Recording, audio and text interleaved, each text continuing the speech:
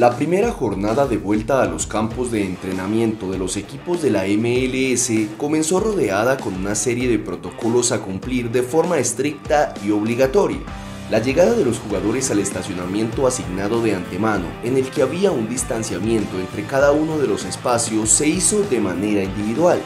Una vez que el jugador fue visto por el responsable del campo, este le hizo una señal para que se bajase del vehículo con la mascarilla puesta, los guantes de protección, su bolsa deportiva y caminase hasta la estación donde le tomaron la temperatura.